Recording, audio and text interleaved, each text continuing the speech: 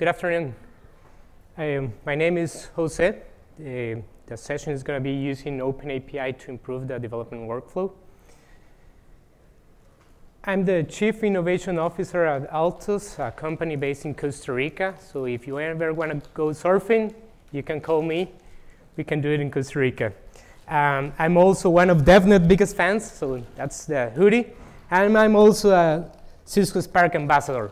So this whole talk is going to be about using these technologies like Spark and some development technologies.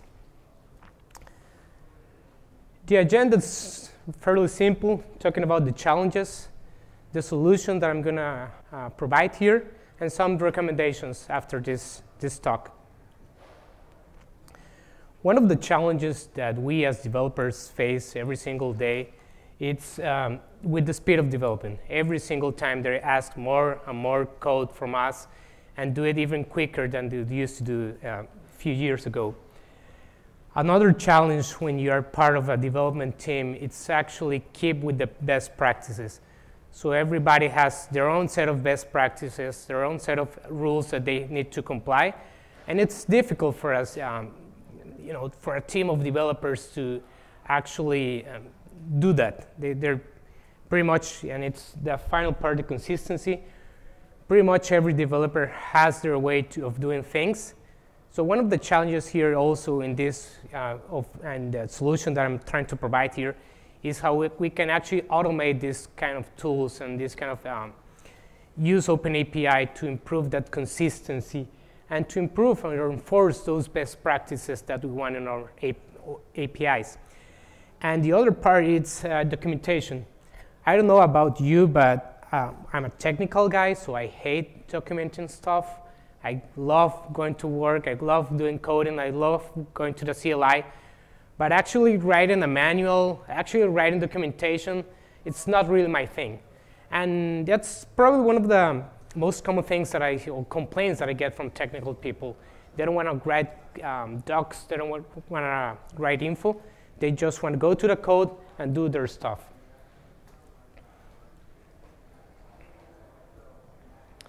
the solution that I'm providing, it's going to focus on these technologies. So it's basically using OpenAPI, previously known as Swagger.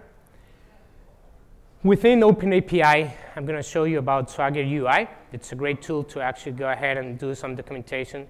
And if you have worked with uh, Spark API, you'll see that kind of same live documentation where you can actually go ahead, click a button, and then execute an API call right from those docs.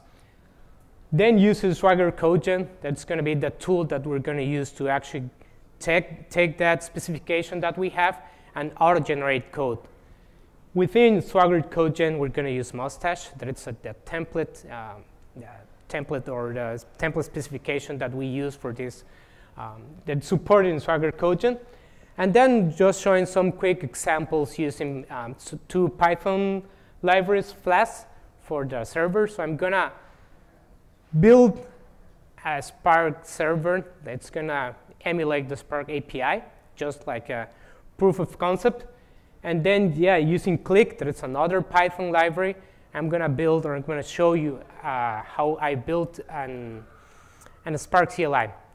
In case you want to do some automation, if in case you want to do some other stuff, you can do it in a CLI. Like, for example, if you need to add 100 people to a room, it's easier to go through a CLI and do some automation stuff than going exactly to the, um, to the interface and doing all the clicks that you have to do. So those are the solutions that I'm going to take, and I'm going to show you the different things that I'm going to use to solve the challenges that I mentioned in the previous slide.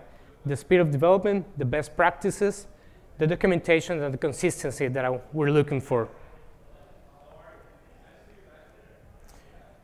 So first, let's talk about OpenAPI. OpenAPI is a specification for uh, describing REST APIs. It was previously known as Swagger, but then a couple of companies joined and actually changed the name to OpenAPI, and it's actually a, community effort to improve how um, APIs are being documented and defined. As you can see here, um, I'm gonna give an example of how you define an, OP, an API, and this is actually the specification or a specification that I did for the Spark API. So for example, you get the people endpoint, you get the operation that it's get, information, for example, the operation ID, the summary, the description, and some information that you get in that. For example, the parameters that you'll send, like for example, in the, the name is ID, you'll see in the, in the query, the description, and is it required or not, and the different kind of things that you can have in that. So it's fairly easy for developers to define this description and then give that to the front-end developers, to the back-end developers, and they can work in that specification.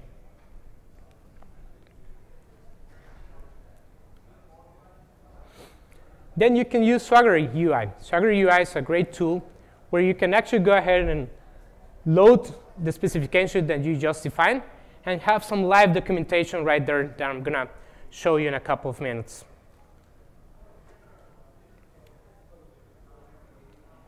After that, we can actually go ahead and use Swagger CodeGen.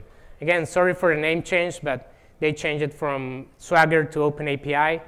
I'm using the OpenAPI, that's the official name now, but still some of the repos or some of the tools actually reference, like for example, Swagger UI and Swagger CodeGen still reference the old name.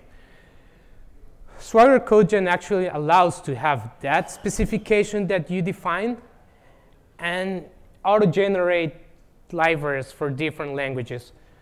For client languages, we have 30 plus uh, already supported. For server uh, generation languages, we have around 14. And for example, in this server part, one of the languages supported is Java, but you have like six or five ways of doing things in Java, or you know, different server specifications. So it's 14 languages, but within those 14 languages, you could have two or three or more things. So it's, it's a whole, um, it's a lot of information. It's a lot of ways of you can do things, and it'll help you a lot when you're actually developing using this. And as I said before, one of the things that I like the most, it's you don't have to stick what, with what the repo supports. You can actually go ahead and define your own templates. And for example, the officially supported is actually generating client libraries and generating server um, or backends. But what I did, or what we did at our company, is actually use that kind of logic, use that same tool, generating our own templates, and actually use that for generating a CLI um, tool. So it's not only backend, it's not only the SDKs, but you can also use that to, to um, some other some other needs what we use, again, where it's being done in the project, it's using Mustache. There is a logicless template. And you can see, for example, the different information you can use to actually go ahead and generate code with that. You can ask, for example, the information about an, um, an operation, the name, the class var name, the description. You can go ahead and figure out if it has more items or not in that definition. When you have a variable, when you have a variable, a query string variable or a variable in a body, you can ask different stuff. For example, is it numeric? Is it a string? Is it an integer? And in this case, is it a container? Is it part of our list or not? And that allows you to go ahead and generate code. For example, it's different the code that you can generate if it's a string or if it's a binary or a double. And you can use that to actually go ahead and make changes in your code and auto-generate with that information. Sorry? Yeah, so what it supports is actually Mustache. It's a template language. So you can use that. And when we say it's logicless, it's not like you can do an if this is uh, less than 5, then do that. But you can, for example, use has more to figure out if, if it has more parameters, then I have to do this. If, it's, if this is the last parameter, then I have to you know, set this code. And we'll see an example of, of how it's being done. And finally, just you know, for the proof of concept here, and just to you know, show some code, I'm going to use Flask, that it's a Python library to generate microservices or to generate backends. And then click, that it's again a Python library to generate CLIs. Okay, now we have done with the slides. Now we jump to the demo.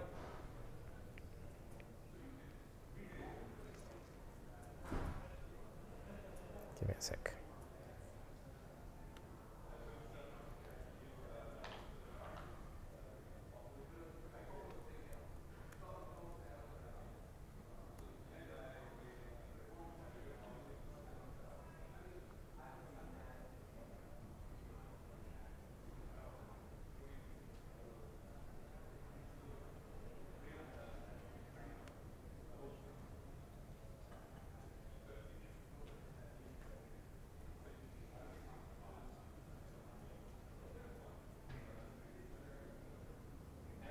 Okay, so the first part. Again, we have here the Spark specification using OpenAPI. So what, what I did is actually take some specification that was already available in GitHub that is done by Nick Marus.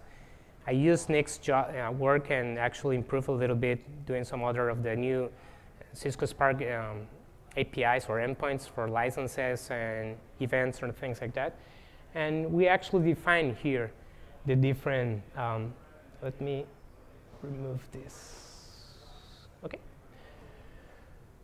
And you can see you can define here, well, the title, the Spark API, the version that I defined here, the URL, sorry, the URL for the documentation, the host or the URL for the actual API that I have there, in this case, api.ciscospark.com, some other information like the path and what produces, like in this case, JSON and consumes JSON, you can yeah, maybe consume or produce XML as well. And you have information like in this case, and this, the, this is a first example. So in this case, uh, information about, let me, give me a sec. Information about um, summary, the description, and the information that I get here, let's say the response, it's going to be, if it's valid, it's going to be a 200 response code. And it's going to reference uh, a person. And in this definition, I actually explain or uh, define, specificate what that person is. Let me just give me a sec.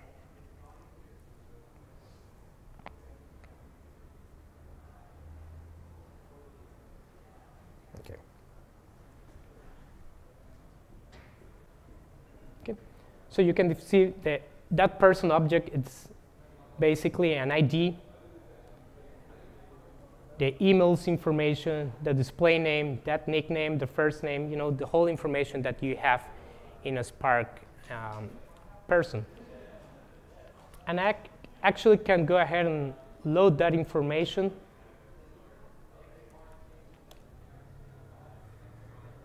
to this Swagger UI. And as you see, I'm jumping from a specification that I had in a file. I'm jumping to this, and I'm loading here using HTTP, right? Just using Swagger UI, and then have that live documentation right here. If you're using Spark, you don't need that because that information is already available in Spark in developer.ciscospark.com.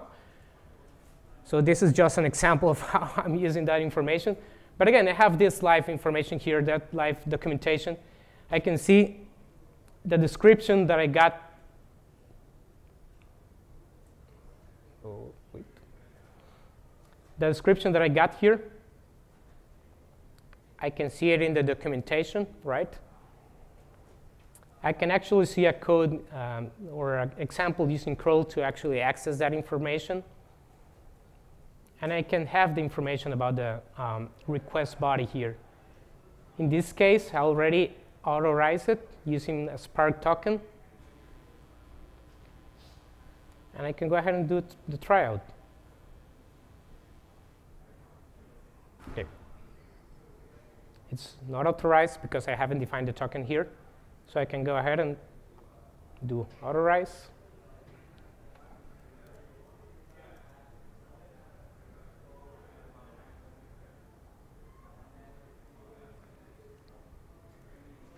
Define the access token.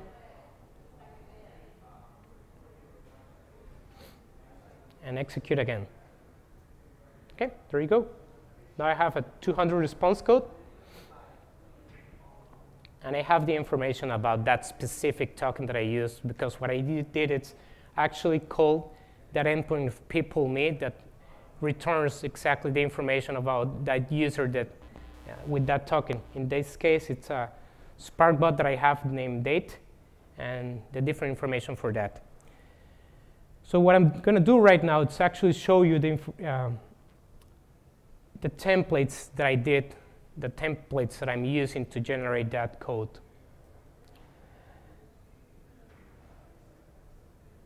Okay, let me show you the code. Give me a sec.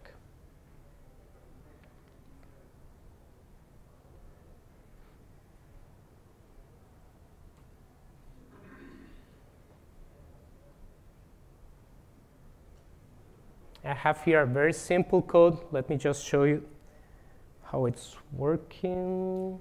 Okay.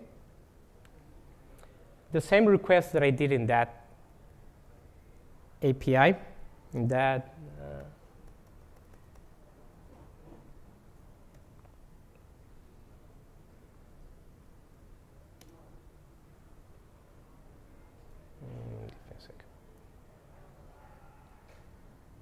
I'm going to generate the code.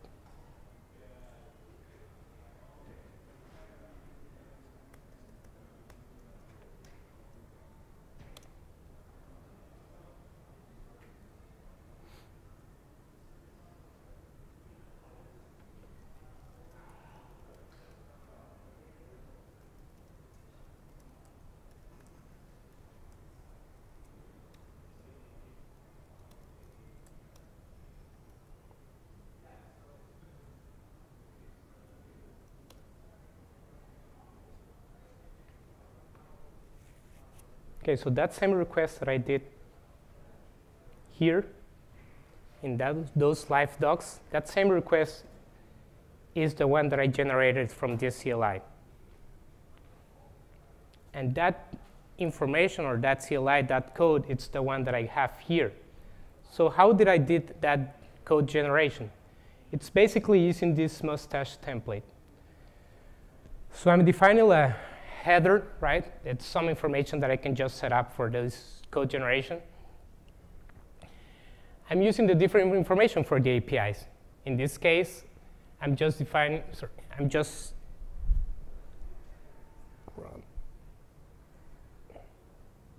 okay. I'm just importing some uh, Python libraries. In this case, import click, that it's the library that I told you that I use for the CLI generation.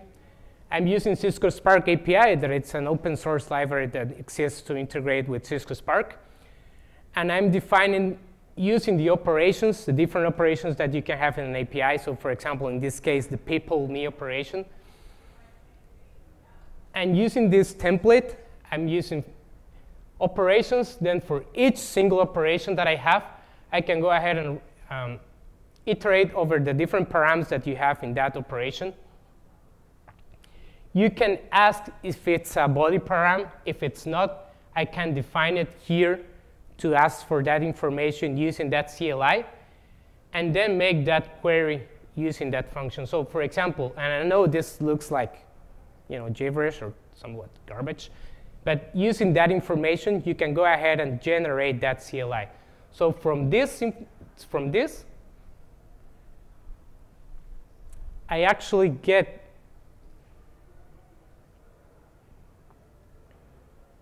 this code without having to do some other changes.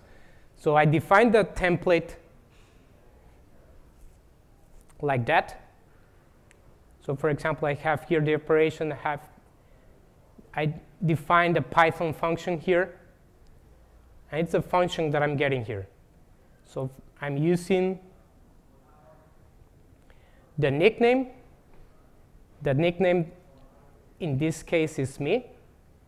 That nickname, it's one of the things that I get from that specification. And then define the different parameters.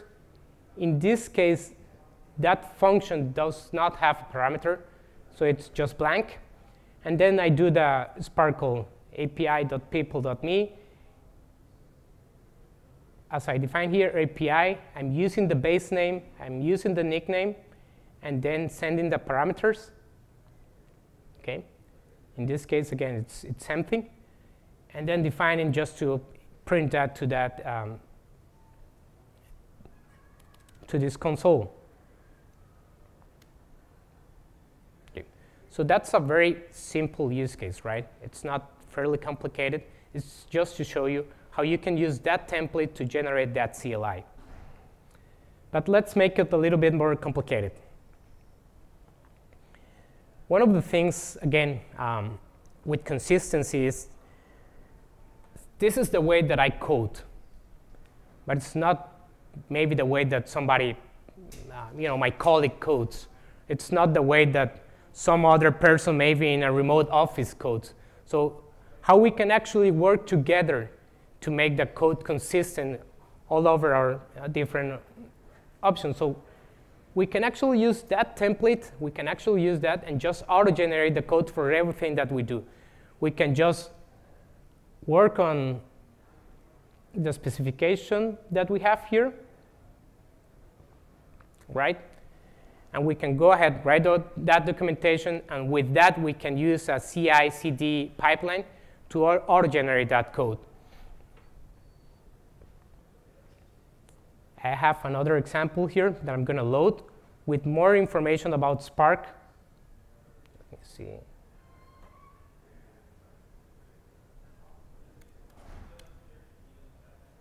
Okay.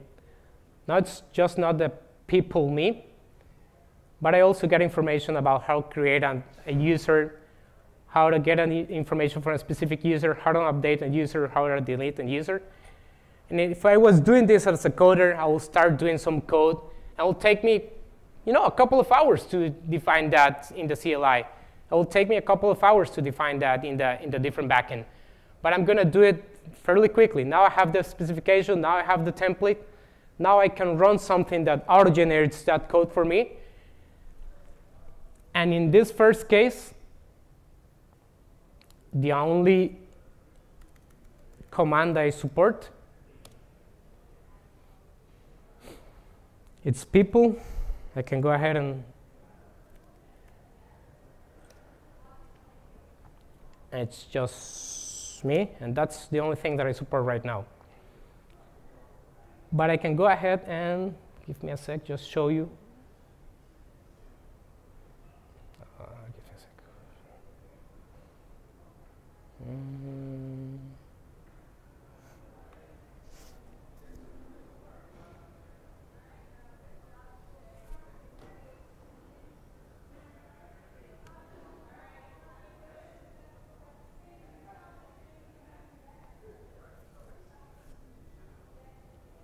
I'm going to remove the code that I already have in that folder.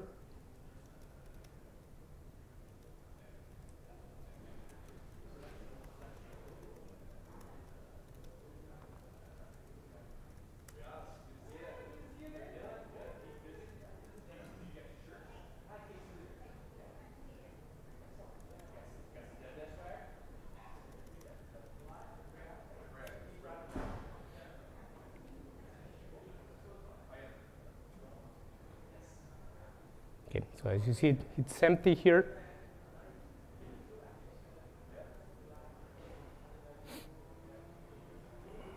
And using the same templates that I defined, and just changing that specific file that I'm actually given here. So this is the input. This is the template that I defined and just the output directory. Uh, okay, as you see, you'll see the code being generated here. Okay, now I have that info here. And in this first step, again, I only had the people command, I only had that specific endpoint, the me one. But just getting that other file and getting that other information that I sent, I'm going to head, go ahead, CLI, Swagger client. And using this same information,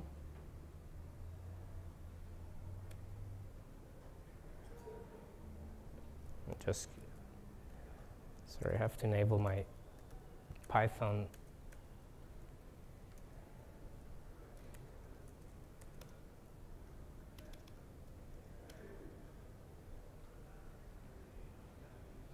Again, just the people one, but within the people one,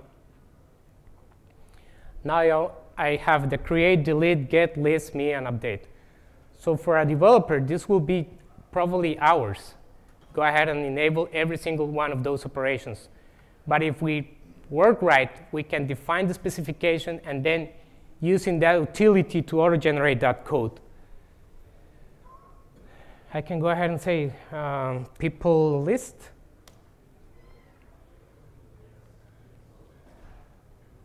Okay. Uh, okay. Yeah. In this case, I'm um, have to send some information in all it's about, so it, it can't actually register people from, from the organization. Let me uh, give it my token. Give me a sec. Check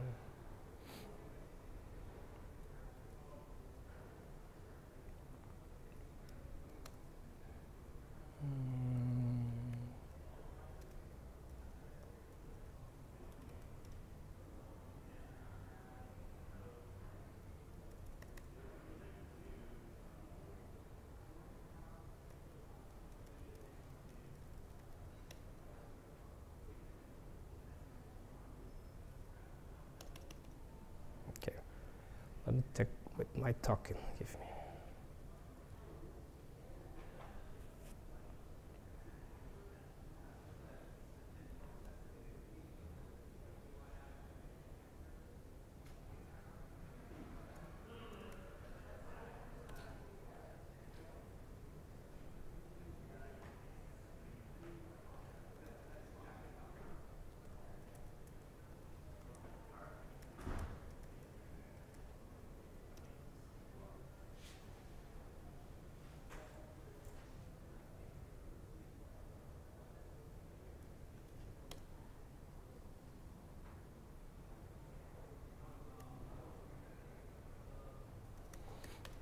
To see what problem that I have.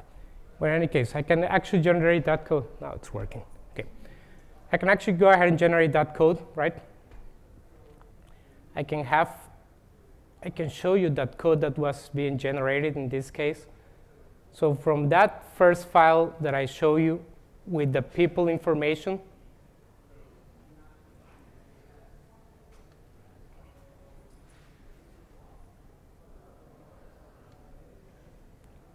this first step, I just got the people me, right?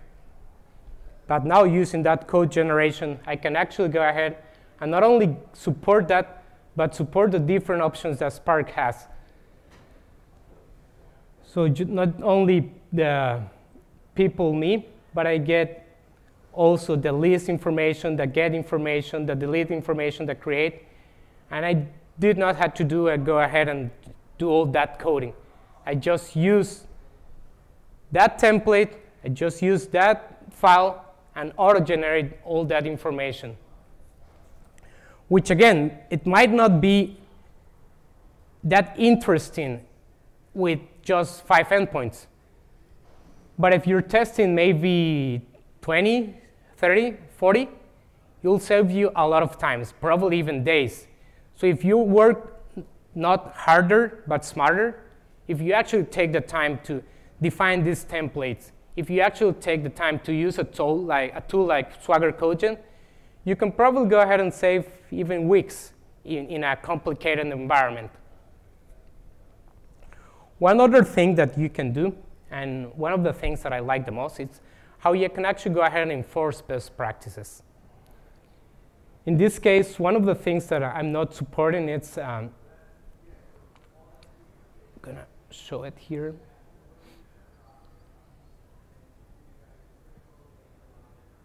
Generate this one.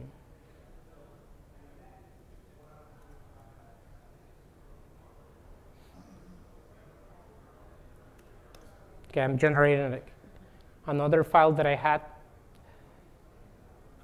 that you can see not only has the information about people, but also have information for rooms and messages. So I'm going to try to get a message using that CLI that I'm auto-generating, try to get a message from Spark. The first problem that I'm going to face using that it's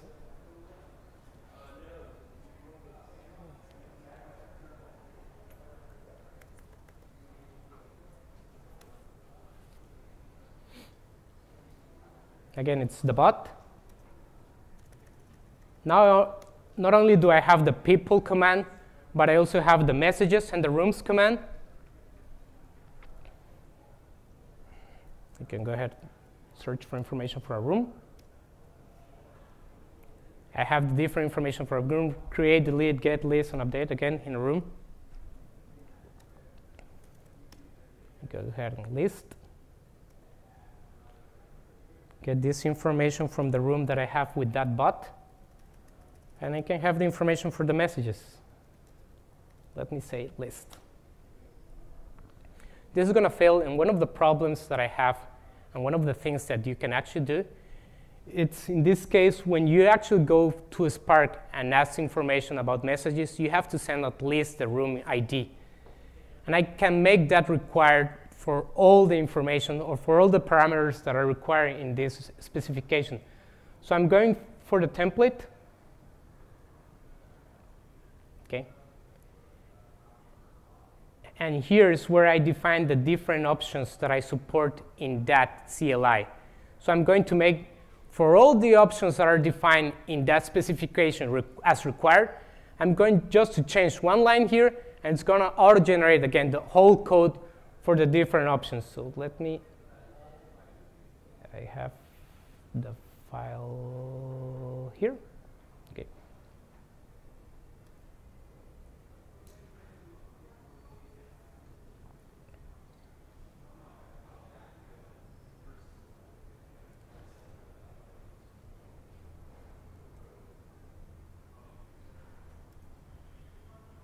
Okay, now I have this, it's required. So in the code that I have so far, mm, here, CLI, Swagger code sorry.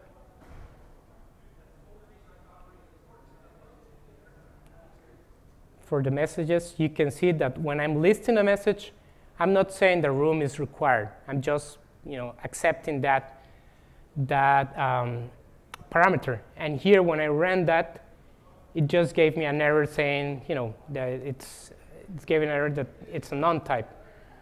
But now, when I change this and I included that, that specific parameter asking in the template if it's required or not, I can go ahead save it. I can auto-generate again.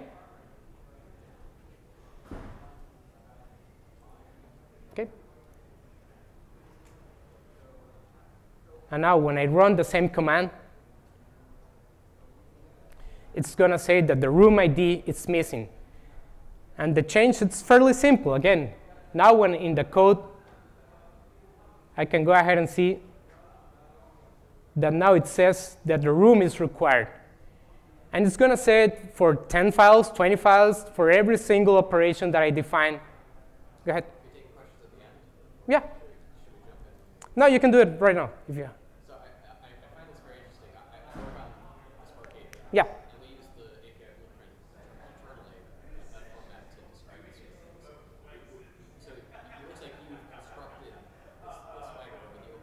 Yeah. Uh, uh, as, a, as, as a result of the, of the documentation. Yeah. Would it be useful to you if we publish Oh, absolutely.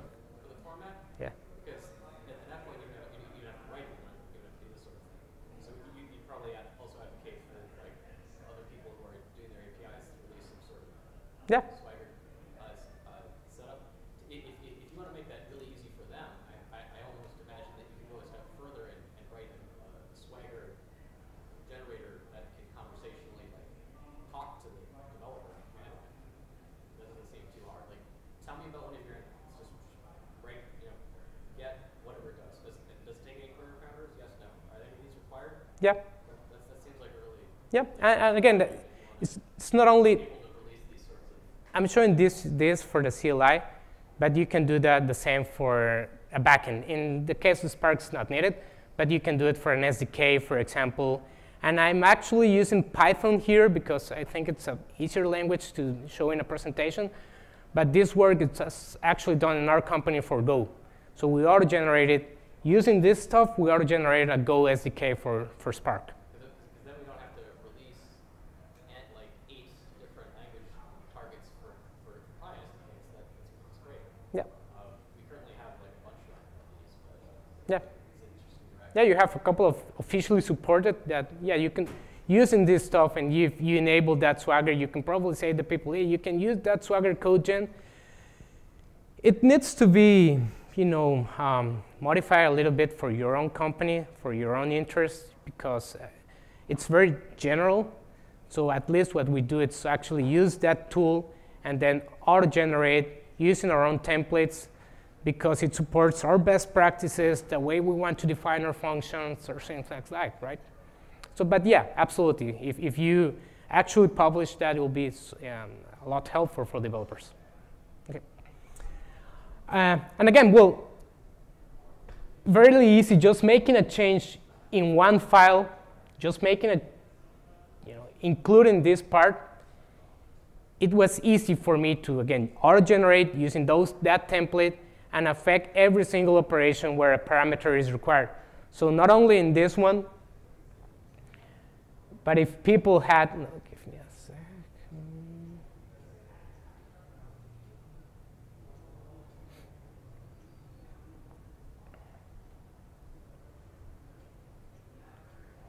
In this case, the ID to delete a people is also required, and this was also included. I didn't have to go and write that code or didn't have to go and check, is it required here or not? I just used that specification and auto-generate that code. Again, this is you know, somewhat straightforward. It's just a couple of uh, endpoints, but I have, if I have an, op- an end, uh, specification as big as the one in Spark, I can get another file. In this case, I have a fourth file with all the specification, the Swagger specification for Spark.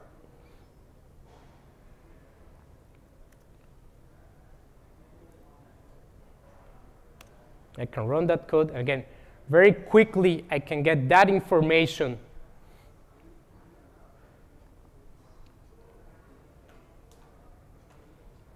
And all the different endpoints from Spark. Contents, license, membership, messages, organizations.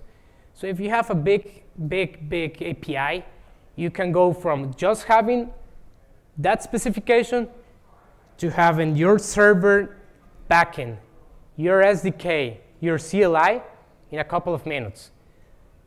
Obviously, you need to do some previous work. You need to work on the templates. But once you have that, you can pretty much define the server, the information for um, the CLI, the information from the SDK in a couple of minutes. One other thing that I was mentioning was documentation.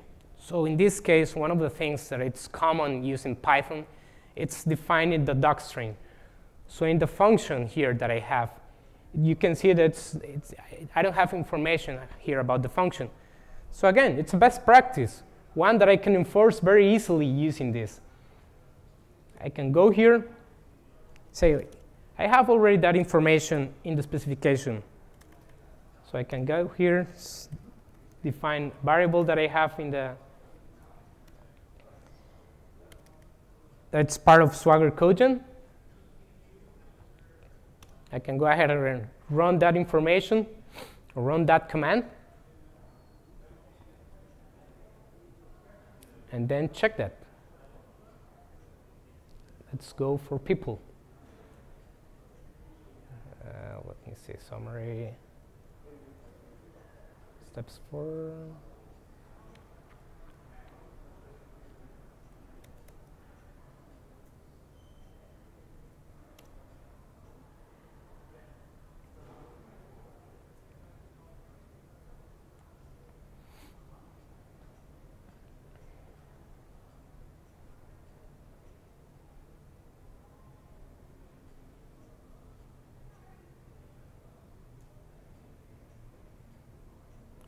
You see, now I have the information here. Again, easy, just two lines of code, and I auto-generated that whole information for the whole uh, API. I have here that documentation, so now a developer can work in the specification and they'll know that information will be in that CLI or that SDK or that backend. You see here in people, I have the same information for rooms, I have the same information for memberships without them having to be in the developer police and going with my developer and say, hey, why didn't you include that? We just give the tool, the right tools. We just tell them you can have this information, that specification, and I can, again, very easily auto-generate that.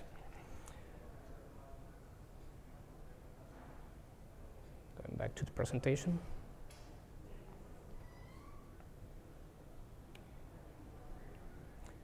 The challenges that we said was speed of development, and I show you very easy in this 40 minutes presentation how you can actually get from one specification to generate a complete CLI very, mm, very quickly. And again, you have to work on that template.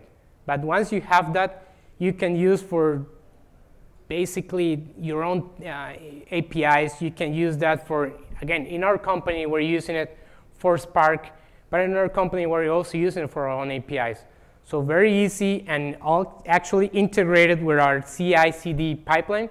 Once somebody pushes information about a new specification, the API, it auto generates codes for the server, the backend, and for different languages, in our case, for Python and for Go, without the developers having to go and uh, write that code. Best practices. I show you how you can actually go ahead and say, yeah, maybe just define that best practice in this template, like having that doc string or having the um, variables name like this or having the uh, functions name like that. And again, it will auto-generate that code for you. Documentation, you'll have that, again, easily. You just work on that template and using something like Swagger UI that I'll show you. Again, using Swagger UI and using the specification, you have that, that whole information at the tip of your hands. Again, and for developers, this is super valuable. Having actually information when you're bringing a new person to that team, you can just send it here, say, that's the whole information for the API. You can go ahead, test it, you can go ahead and see it. And it's, again, very easy for, for them to ramp up. And the final part that we um, said it was a challenge. Uh, let me, was the consistency. Now, if I have a CLI developed by me, it's not going to be different from the CLI that's developed a by a colleague. It's not going to be different from a CLI that's developed for a third person, right? We're already going to have that same boilerplate, that same information for the CLI. We're going to have it. And it's just, again, the logic is going to be different from you and me. But at least that documentation, that way of defining things or of setting parameters, it's going to be the same. The final part, the steps that I recommend, obviously learn more about OpenAPI and Swagger. There's another session today by Ashley Roach that it's creating REST API microservices using Swagger Node. Then you can go ahead and, again, just if you have a simple specification, this, uh, this one using Spark, it's available on GitHub. So if you have that, you can run some simple tests using Swagger CodeGen that it's also available in GitHub.